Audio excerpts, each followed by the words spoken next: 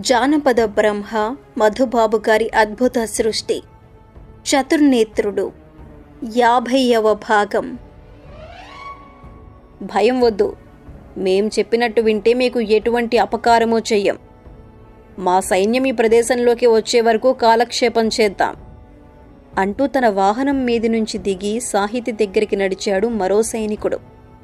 విరజ మాదిరి ఉలుకు పలుకు లేకుండా నిలబడలేకపోయింది సాహితి. దగ్గరికి వచ్చిన సైనికుడి ముఖం పగిలిపోయేటట్టు బలంగా ఒక దెబ్బ కొట్టి అవతలికి పరిగెత్తటానికి ప్రయత్నం చేసింది. రెండడుగులే వేయగలిగింది. మూడో అడుగు వేయకముందే తమ వాహనాల మీద నుంచి దూకి ఆమెనడ్డుకున్నారు మిగిలినవారు. వెకిలిగా నవ్వుతూ ఆమె చెయ్యి పట్టుకోబోయాడు దెబ్బతిన్న సైనికుడు. రక్షించండి ఈ రాక్షసుల బారి నుంచి మమ్మల్ని కాపాడండి. ఎలుగెత్తి అరిచింది సాహితి. మరింత పెద్దగా నవ్వుతూ దగ్గరికి లాక్కొని గట్టిగా కౌగలించుకోబోయాడా సైనికుడు. తనను పట్టుకున్న మనిషి కూడా తనను కౌగలించుకోవటానికి ప్రయత్నం మొదలుపెట్టడంతో మరింతగా భయపడుతూ కళ్ళు గట్టిగా మూసుకున్నది విరజ. కొండ చిలువల ఆమె దేహాన్ని బలంగా చుట్టుకుంటున్న కఠిన హస్తాలు ఉన్నట్లుండి ఆమెను వదిలేశాయి. దగ్గరగా నిలబడినవాడు కాస్త దూరంగా జరిగాడు. ఏం జరిగిందో అర్థం కాలేదు విరజకి. కళ్ళు తెరిచి చూసింది. చూసిన వెంటనే గగురు పొడిచిందామె ఒళ్ళు. ఎప్పుడు వచ్చాడో ఎలా వచ్చాడో తెలియదు కాని అశ్వికుల మధ్యకు వచ్చేశాడు మహాకాయుడు. నిశ్శబ్దంగా నోరు తెరిచి ఒక చిన్నపాటి శబ్దం కూడా చేయకుండా దొరికిన వారిని దొరికినట్టు విరగతీయటం మొదలుపెట్టాడు. నలుగురు సహచరులు కళ్ళు తేలవేసి నేల కూలిపోయిన తరువాత గాని జరుగుతున్నదేమిటో మిగిలిన వారికి అర్థం కాలేదు. గొడవ గొడవగా తమ ఆయుధాల్ని అతని మీద ప్రయోగించటానికి ప్రయత్నించారు. జడలు కట్టిన శిరోజాలు మట్టి కొట్టుకుని ఉన్న దుస్తులు దుమ్ము ధూళి నిండిన శరీరం పరమ పిచ్చివాడిలా ఉన్నాడా మహాకాయుడు. వారి ఆయుధాల్ని చూసి కొంచెం కూడా బెదరలేదు సరికదా? మహా సంతోషం కలిగినట్టు నిశ్శబ్దంగా నవ్వాడు. చేతులు రెండింటినీ బలంగా బిగించి ఎడాపెడా మర్దించాడు. పదే పది క్షణకాల్లో నడుములు విరిగి అవయవాలు గాయపడి నెత్తురు కక్కుకుంటూ నేల కూలిపోయారు చాలామంది. నలుగురే నలుగురు మిగిలారు. ఆయుధాల్ని వదిలేసి ఎగిరి తమ వాహనాల మీదికి దూకి కన్ను మూసి తెరిచేటంతలో ఆ ప్రదేశాన్ని వదిలేశారు. దేవుడిలా వచ్చి మళ్ళీ మా మాన ప్రాణాలను కాపాడారు. మీకు శతకోటి వందనాలు. చేతులు జోడించి అతనికి నమస్కరిస్తూ అన్నది సాహితి. ముట్టుకుంటే కందిపోయేటంత సుకుమారంగా ఉన్న చిట్టి తల్లులు. ఎవరమ్మా మీరు? మళ్ళీ ఈ పాడు ప్రదేశంలోకి ఎందుకొచ్చారు? అని అడిగాడతను. మాది ప్రతిష్టాన నగరం అంటూ మొదలుపెట్టిందామె. పిడుగు మీద పడినట్టు అదిరిపడ్డాడతను. ప్రతిష్టాన నగరమా? మీది ప్రతిష్టాన నగరమా? రెండడుగులు ముందుకు వేసి అడిగాడు. అవును అదే అన్నది విరజ. ఎవరు? మీ తల్లిదండ్రులెవరు? అన్నాడతను. నా పేరు విరజ. మహాభైరవుడి భక్తుడైన కేశవ శర్మ గారి కుమారుడు మహావీరుడు అయినటువంటి కార్తికేయుల వారి పాదాలను ఆశ్రయించుకుని బతికే వందనాదేవి నా తల్లి. అతనితో చెప్పింది విరజ. అపరిమితమైన ఆశ్చర్యంతో రెండు క్షణికాల పాటు అలాగే నిలబడిపోయాడా మహాకాయుడు. నువ్వు నువ్వు వందన కుమార్తెవా? నీ జనకుడు కార్తికేయుడా? కేశవశర్మ గారి కుమారుడు కార్తికేయుడేనా? అంటూ ఆమెను రెట్టించి అడిగాడు. అవును నా జనకులు మీకు తెలుసా? ఉన్నట్లుండి ఆతృతకు గురవుతూ అడిగింది విరజ. ఎందుకనో ఏదో చెప్పబోయి ఆఖరి క్షణంలో ఆగిపోయాడతను. ఎప్పుడో చాలా కాలం క్రితం. అబ్బో చాలా కాలం అని మాత్రం అన్నాడు. అవును నా జనకులు కనిపించకుండా పోయి పదునెనిమిది సంవత్సరాలకు పైనే అయింది. నేను పుట్టకముందే కనులు తడవుతుండగా చెప్పింది. నువ్వు కన్నీరు పెట్టుకోకు. నవ్వుతూ ఉంటేనే బాగుంటుంది. ఇంతకీ ఈ చిట్టి తల్లి ఎవరు?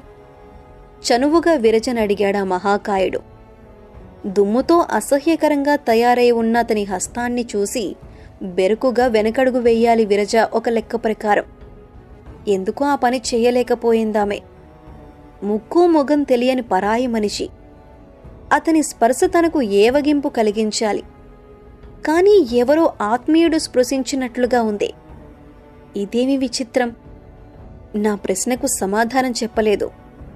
ఇష్టం లేదా? కటువైన కంఠస్వరాన్ని మృదువుగా మార్చుకుంటూ అడిగాడు మహాకాయుడు.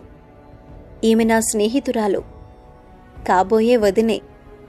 తనకు తెలియకుండానే చిరునవ్వు నవ్వుతూ చెప్పింది విరజ. అంటే అర్థం కానట్టు అడిగాడతను. మహాబలవంతుడైన కార్తికేయుల వారి ధర్మపత్నికి జన్మించిన నా అన్న మాధవుడికి కాబోయే ఇల్లాలు. చక్రవర్తి ఆస్థానంలో మంత్రి పదవిని నిర్వహించే దామోదరుల వారి పుత్రిక. పేరు సాహితి. దామోదరుడికి ఇంత కూతురున్నదా? ఎంత విచిత్రం. తనలో తాను అనుకుంటున్నట్టు పైకే అన్నాడతను. మా నాన్నగారు మీకు తెలుసా? అన్నది సాహితి. అతను తెలుసు. అతని అన్న హరిహరుడు కూడా తెలుసు. అది సరే మాధవుడు నీ అన్న అంటున్నావు. అతను అతనిప్పుడెక్కడున్నాడు తడుముకుంటూ అడిగాడు అతను విరజని. తండ్రి తర్వాత తండ్రంతటి మహాబలుడు నా సోదరుడు. పిడికిలి బిగించి కదిలాడంటే ఆపటం ఆ దేవతలకు కూడా ఏమాత్రం సాధ్యం కాదు. మాధవుడి ప్రసక్తి వచ్చేసరికి ఒళ్ళు తెలియనంత ఉత్సాహం కలుగుతుండగా అతనితో చెప్పింది విరజ. అబ్బో అంతటి మొనగాడా? తప్పకుండా చూడవలసిందే. అవును అతి సుకుమారులైన మీరు ఈ అడవిలో అష్టకష్టాలు పడుతుంటే ఆ మహాబలుడు ఇంటి దగ్గర కూర్చొని అమ్మ చేసి పెట్టే పిండి వంటలను ఆరగిస్తున్నాడా? ఆ మాటల్లో ప్రతిధ్వనించిన వెక్కిరింపును గమనించేసరికి చర్రును వచ్చేసింది కోపం సాహితికి. మా బావ చేతకానివాడు కాదు. అసలు మా బావే గనక ఇంటి దగ్గర ఉండి ఉంటే మేమిలా ఈ పాడు ప్రదేశంలోకి రావాల్సిన అవసరమే ఉండేది కాదు. చాలా విసురుగా అన్నదామె. దామోదరుడి కూతురికి కోపం చాలా ఎక్కువే. ఇంటి పట్టున ఉండకుండా ఎక్కడికి పోయాడు తల్లి? కళింగం మీద జైత్రయాత్రకి పోయాడా? వెక్కిరింపును మానకుండా మళ్ళీ అన్నాడు మహాకాయుడు. నా సోదరుడి ప్రసక్తి వచ్చిన దగ్గర నుంచి మీరు వెక్కిరింపుగా మాట్లాడుతున్నారు. మీకంటే బలవంతుడు మరొకడు ఉన్నాడని తెలిసేసరికి అసూయ పుట్టిందా? ఉన్నట్లుండి అతనిని అడిగింది విరజ. ఉలిక్కిపడి అంతలోనే సర్దుకుంటూ చిన్నగా నవ్వేశాడు మహాకాయుడు. తప్పైపోయింది తల్లి. అంతటి బలవంతుడు మీకు ఇంతటి బాధ కలుగుతుంటే ఏం చేస్తున్నాడో అనిపించి అలా మాట్లాడాను. మీకు బాధ కలిగితే క్షమించేయండి. ఇంతకీ అతను ఎక్కడో చెప్పనే లేదు. చాలా మృదువుగా అడిగాడు. మా భైరవుడి ఆలయంలో దోపిడీ జరిగింది. ఆభరణాలు సంపద అన్నీ మాయమైపోయాయి. ఆ నింద తాతగారి మీద పడింది. అంటూ జరిగిన విషయమంతా మహాకాయుడికి వివరంగా చెప్పింది విరజ. చిరునవ్వుతో వినటం మొదలుపెట్టిన ఆ మహాకాయుడి ముఖంలో దారుణమైన మార్పు వస్తూ ఉండటాన్ని విరజ సాహితీ ఇద్దరూ గమనించలేదు. వెలివేశారా? ఆలయపు గోపురాన్ని కూడా చూడటానికి వీలు లేదని ఆంక్ష పెట్టారా మహాభైరవుడి ఆరాధన తప్ప మరొకటి తెలియని ఆ మహానుభావుడికి దొంగతనం అంటగట్టి అవమానించారా? పళ్ళు పటపటమని కొరుకుతూ అడిగాడతను. శరీరంలోని రక్తమంతా ముఖంలోకి వచ్చేసినట్టు ఎర్రబడిపోయింది వదనం. పటపటమని శబ్దాలు చేస్తూ పైకి ఉబికై భుజపు కండరాలు పిడికిళ్ళు బిగుసుకున్నాయి. విపరీతంగా భయపడ్డారు సాహితీ విరజ. మీరు మీరెవరు? తాతగారు మీకు తెలుసా? భయం భయంగానే అడిగింది విరజ. ఒక్కసారిగా తల విదిలించి తనలో ప్రత్యక్షమైన మార్పుల్ని అణిచేసుకున్నాడా మహాకాయుడు. మీ తాతగారు నాకు తెలుసు. రాజప్రతినిధితో పాటు ఆ వినుత శర్మ గురించి కూడా నాకు తెలుసు. నేనెవరినో తర్వాత చెప్తాను. ముందు మనం వెంటనే ప్రతిష్టాన నగరానికి వెళ్ళిపోవాలి అన్నాడతను. మహాభైరవుడి సంపద వైరోజని దేవళం దగ్గరే వదిలేశాం. అస్పష్టంగా అన్నది విరజ. మరేం పర్వాలేదు. అంతగా అవసరమైతే కొత్తగా ఆభరణాలను చేయించవచ్చు. ముందు నగరంలోకి పోయి ఆ రాజప్రతినిధిని వినుత శర్మని పాదాలతో తొక్కి పాతాళానికి పంపించేయాలి. పదండి. వారితో అసహనంగా అన్నాడతను. ఒకరి వంక ఒకరు చూసుకుంటూ అలాగే నిలబడిపోయారు సాహితీ విరజ. వస్తున్నారా లేదా? వారిద్దరినీ మరింత రెట్టించాడు మహాకాయుడు. మీరు పరలోకానికి పంపించిన ఈ అశ్వికులు ఎవరో గమనించారా? ధైర్యం చేసి అడిగింది విరజ. అసువులు వీడి అడ్డదిడ్డంగా పడి ఉన్న అశ్వికుల శరీరాల వంక చూశాడా మహాకాయుడు. నిజమే వీళ్ళు దారిన పోయే దానయ్యలు కాదు. కళింగ సైన్యానికి దారి చూపించే ప్రథమ దళానికి చెందిన పథ నిర్దేశకులు ఆశ్చర్యంగా అన్నాడు. ఒక్కసారి ముందుకు వంగి నేలను తాకండి. వెంటనే చెప్పింది సాహితి. ఆశ్చర్యంగా చూస్తూ కిందికి వంగి ఎడమ అరచేతిని నేల కానించాడతను. ఆ తరువాత సాహితి గాని విరజగాని హెచ్చరించాల్సిన అవసరం లేకుండా తలను ఇంకా కిందికి ఉంచి నేలకు చెవిని ఆనించాడు.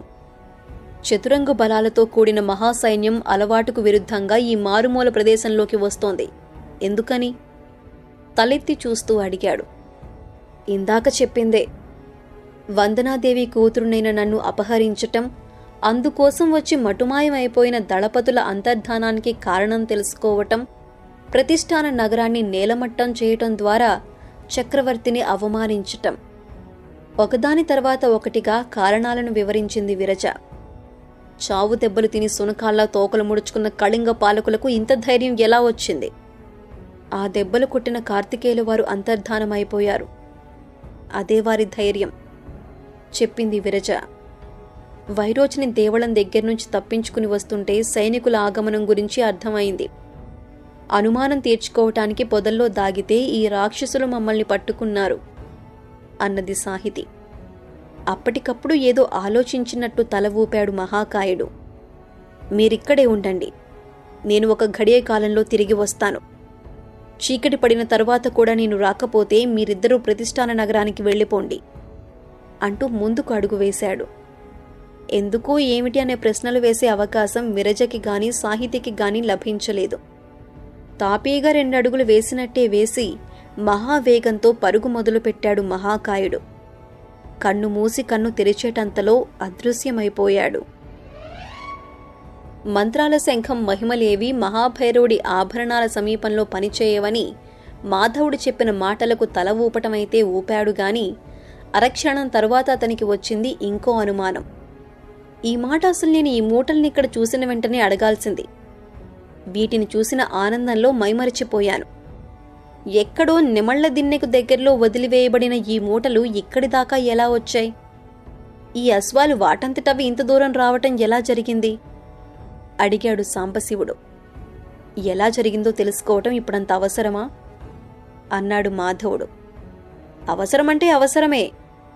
వాటిని ఇంకెవరైనా ఇక్కడి దాకా తీసుకొచ్చి ఉంటే ఆ తెచ్చినవారు ఎవరో ఇప్పుడు ఎక్కడున్నారో మనకి హితులో విరోధులో తెలుసుకోవాలి.